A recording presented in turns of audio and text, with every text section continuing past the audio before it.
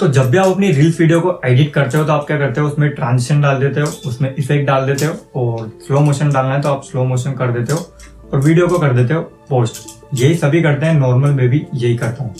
पर यदि आप अपनी वीडियो के अंदर कैमरा मूवमेंट डाल दो तो आपकी वीडियो कुछ इस तरीके से दिखेगी।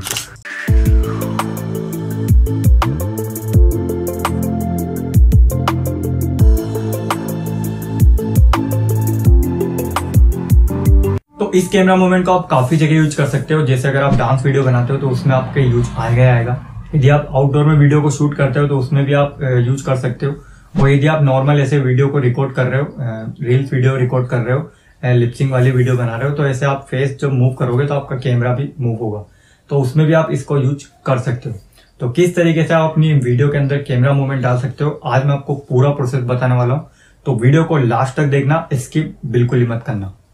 और एक बात और, इस वीडियो के अंदर मैंने आपको दो तरीके बताए। पहला तरीका है, वो तरीका है मतलब एकदम सिंपल तरीका, एक क्लिक करोगे आप, उसमें हो जाएगा। और यदि आपके पहला वाला तरीका काम नहीं करता है तो आप सेकंड वाले तरीके को यूज़ कर सकते हो, इस तरीके के कैमरा मूवमेंट को डालने के लिए। तो चलो, बिना टाइम वेस्ट किया हम चलते हैं मोबाइल की स्क्रीन पे और सिखाता हूँ आपको मैं। तो यहाँ पे मैं आ गया हूँ मोबाइल की स्क्रीन पे। अब यहाँ पे आपको एक ऐप की ज़रूरत पड़ेगी, जिसका नाम है कैपकट ऐप और ये आपको मेरे टेलीग्राम चैनल पे मिल जाएगी। तो आप डाउनलोड कर लेना। उसके बाद आपको वीपीएन की भी ज़रूरत पड़ेगी तो वीपीएन आप कोई सा भी यूज़ कर सकते हो। यहाँ पर मैं सुपर वीपीएन यूज़ कर रहा हूँ। और वीपीएन को आप कनेक्ट कर लेना, उसके बाद आप कैपकट ऐप को ओपन कर लेना। तो यहाँ पर मैंने वीपीएन ऑलरेडी कनेक्ट कर रखा है। उसके बाद यहाँ पर आपको करना क्या है न्यू प्रोजेक्ट पर क्लिक करना है और यहाँ पर आपको अपनी वीडियो को सिलेक्ट कर लेना है। तो चलो यहाँ पर मैं वीडियो को सिलेक्ट कर लेता हूँ। वीडियो को सिलेक्ट करने के बाद यहाँ पे मैं करूँगा क्या, इसका जो साउंड है वो यहाँ पे मैं बंद कर देता हूँ अभी कॉपीराइट की वजह से। और यहाँ पे मैं करूँगा क्या इस वीडियो को मैं यहाँ से स्प्लिट कर लूँगा और इधर वाला पार्ट मेरे को नहीं चाहिए तो मैं इसको डिलीट कर देता हूँ और ये वीडियो को मैं बीस सेकंड तक ही चलाता हूँ बस। ठीक है? और स्प्लिट कर देता हूँ और जो फालतू पार्ट इधर डिलीट कर देता हूँ। ओके।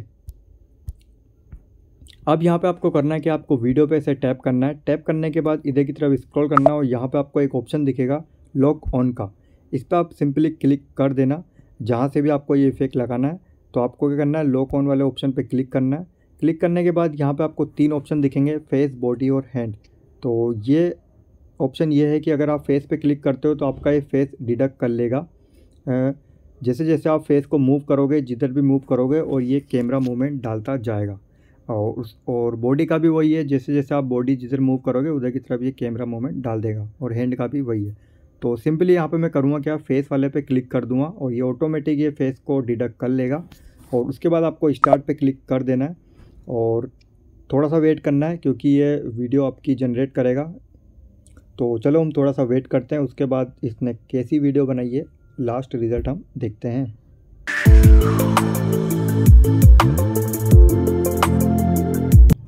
तो यहाँ पे आप देख सकते हो इसने कंप्लीट कर दिया है। अब सिंपली हम करेंगे क्या, इस वीडियो को हम प्ले कर देते हैं।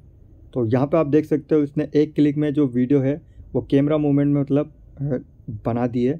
जैसे जैसे ये फेस को मूव कर रहा है, जिधर बॉडी मूव कर रहा है, वैसे वैसे कैमरा भी मूव हो रहा है। यहाँ पे हमने कुछ भी मेहनत नहीं करी है। तो अगर आपके पास भी कोई कैमरा मैन नहीं है, कोई शूटिंग वाला नहीं है, जो आपकी वीडियो को शूट कर सके तो आप इस ऐप का यूज़ कर सकते हो, और अपनी वीडियो को एकदम प्रोफेशनली बना सकते हो। ओके। तो ये तो हो गया, अब इसको आपको सिंपली एक्सपोर्ट पे क्लिक करना है और इस वीडियो को आपको एक्सपोर्ट कर देना है। तो ये तो हो गया फ़र्स्ट वाला तरीका। अब मैं आपको सेकंड वाला तरीका बताता हूँ। अगर आपके ये वाला तरीका काम नहीं करता है तो आप सेकंड वाले तरीके को मैनुअली भी कर सकते हो। सिंपल तरीका है। तो हम क्या करेंगे, यहाँ पे हम न्यू प्रोजेक्ट पे जाएँगे और यहाँ पे हम एक वीडियो को सिलेक्ट कर लेंगे। अब यहाँ पे मैं दूसरी वीडियो को लेता हूँ। तो यहाँ पे मैंने वीडियो को इंपोर्ट कर लिया है। अब यहाँ पे आप एक बात का ध्यान देना, जब भी आप वीडियो को रिकॉर्ड करोगे ना तो रिकॉर्ड करते टाइम आप कैमरे से थोड़ा दूर की तरफ़ खड़े रहना, ताकि आपकी वीडियो के अंदर कैमरा मूवमेंट सही ढंग से डल पाए। ओके उसके बाद हम करेंगे कि आप वीडियो पे ऐसे क्लिक करना, आप क्लिक करने के बाद इसको ऐसे जूम कर लेना। जूम करने के बाद आपको करना क्या है, यहाँ पर आपको टेक्स्ट वाला आइकन पर क्लिक करना है, और यहाँ पर आपको टाइप करना है ओ तो यहाँ पर मैं टाइप कर देता हूँ ओ ओ टाइप करने के बाद ये ओ को आपको अपने फेस के बीच में लगा देना है मतलब अपने फेस पे लगा देना है, जहाँ पे आपका फेस होगा, और राइट पे क्लिक कर देना। और इसकी लेंथ आप फुल कर देना, जहाँ तक आपकी वीडियो होगी, वहाँ तक इसको आपको कर देना है। और स्प्लिट करके मैं ये जो फालतू पार्ट है, इसको मैं डिलीट कर देता हूँ। उसके बाद आपको करना क्या है, यहाँ पे आपको ऐसे वीडियो पे क्लिक करना है। क्लिक करने के बाद यहाँ पे आपको की फ्रेम देना है। अब एक यहाँ पे जैसे ये ओ सेंटर में है, ठीक है? अब आपको यहाँ पे की फ्रेम पे क्लिक करना है। एक की फ्रेम लग जाएगी, उसके बाद थोड़ा सा आगे बढ़ाना। आगे बढ़ाने के बाद यहाँ पे आपको करना क्या है? देखो, जो ओ है वो ऊपर की तरफ़ है और जो फेस है वो नीचे की तरफ़ है तो आपको वीडियो को ओ पर ले जाना है। मतलब आपका जो फेस है, वो आपको ओ पर ही रहना चाहिए। मतलब जो आपने ओ टाइप किया ना, उस पर ही रहना चाहिए। उसके बाद थोड़ा सा आगे बढ़ाना। अब देखो, यहाँ पे इसको हम इधर की तरफ़ करेंगे ताकि वीडियो में जो फेस है, वो ओ के सेंटर में ही रहे। उसके बाद वापस हम आगे बढ़ाएँगे। आगे बढ़ाने के बाद यहाँ पे इसको हम फेस पे वापस ले आएँगे। तो आपको ओ को फेस पर ले आना है, हर की फ्रेम पे। तो थोड़ा थोड़ा आगे बढ़ाना आप वीडियो को।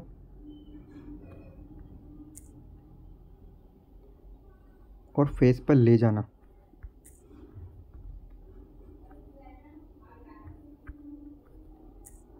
तो आपको इसको आराम आराम से कर लेना है। तो जहाँ पे, चलो, इसको मैं कर लेता हूँ। फास्ट फॉरवर्ड कर देता हूँ मैं वीडियो को थोड़ा।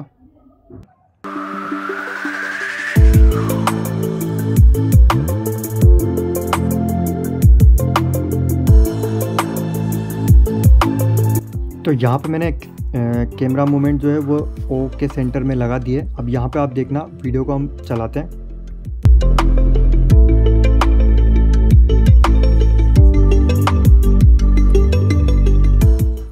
देख सकते हो, यहाँ पे जो है हमने कैमरा मूवमेंट लगा दिया है। जैसे जैसे यहाँ पे ये लड़की मूव कर रही है और फेस को मूव कर रही है, वैसे वैसे जो कैमरा है, वो भी मूव कर रहा है। मतलब ऐसा लग रहा है कि कैमरा मूव हो रहा है, पर हमने यहाँ पे इसमें एडिटिंग कर रखी है। ओके अब आपको करना क्या है, यहाँ पे इसको आपको इसको डिलीट कर देना है। यहाँ पे इसको मैं डिलीट कर देता हूँ, और यहाँ पे इसको मैं आपको क्या करना है, इसको आपको एक्सपोर्ट कर देना है। तो ऊपर आप एक्सपोर्ट पे क्लिक करना और इसको आप एक्सपोर्ट कर देना। अब यहाँ पे आप बिफ़ोर और आफ्टर देख सकते हो इसके अंदर ये बिफ़ोर वीडियो ऐसी थी और आफ्टर ये कुछ इस तरीके से बन चुकी है।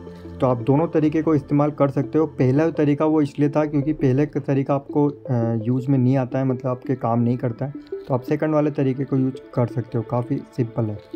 तो आई होप आपको ये वीडियो पसंद आएगी वीडियो पसंद आए तो लाइक कर देना और चैनल पर नहीं हो तो सब्सक्राइब कर देना। तो चलो मिलते हैं अपन आप नेक्स्ट वीडियो में।